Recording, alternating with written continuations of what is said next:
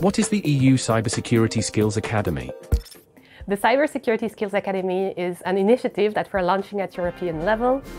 It's the beginning of a journey uh, to try to close or reduce the cybersecurity talent gap in the European Union through skills.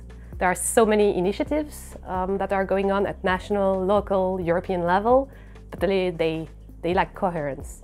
So that's what we're trying to do with the Cyber Skills Academy. We want to skill, reskill, upskill uh, professionals in the European Union to cover the need of the labour market. Why do we need the Cybersecurity Skills Academy? So we need the Cybersecurity Skills Academy for three reasons. The first one is that we need to protect ourselves against the, against the threats, that's security.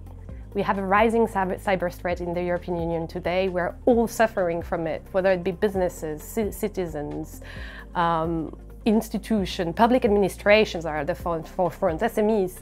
So with enough cyber professionals, we can better protect ourselves, protect our businesses, protect our personal data as citizens. Second reason is competitiveness and growth for the European Union. So today, a lot of technologies, they're enabled by cybersecurity. And to develop those technologies and foster growth, competitiveness, we need cyber professionals. We need those profiles that are into research and that are developing some new technologies that will maintain the EU at the forefront on the, on, on the world stage. And the third reason is the labor market itself. If you go on the internet and you, you look for, for a job, you will see that there are a lot of positions open for cyber professionals. Companies cannot fill those positions today, as can't public administrations. We're all looking for cyber professionals. So a couple of important numbers to know. Today, the gap in the European Union, it's estimated at somewhere between 260,000 and 560,000 cyber professionals. That's what we're missing.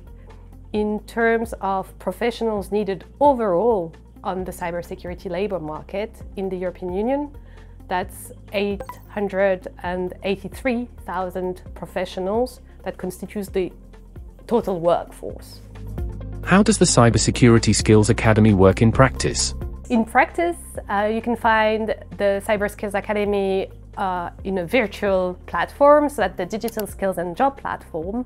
On the platform, you will find all the information about trainings, about uh, funding opportunities, about certifications. So it as a single point of entry that will be really the place where you want to go if you're a student or if you're a company and you're looking for information how to skill, reskill, upskill yourself in cybersecurity. How can companies get involved? So companies can get involved in several ways. Well, the very first thing is the pledges. What is a pledge? A pledge is a commitment that a company or a non-profit organization, big or small, can make to upskill or reskill uh, employees or even third parties if you're a certification entity, for example, and you want to, to offer trainings to, to professionals on cybersecurity. So for example, you're a company and you're already providing some training to your, um, to your employees. Um, well, maybe just you want to set a target on those cyber trainings and say by next year I want to have, I don't know, 50% of my company cybersecurity uh, trained. So that's typically the kind of pledge you could make on the platform where we would just ask that it's free of cost and that uh, it meets the objectives of the Academy.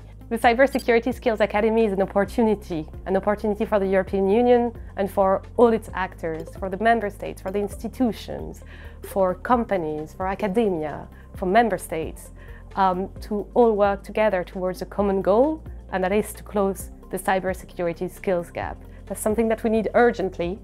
So let's work together and close the cyber skills gap.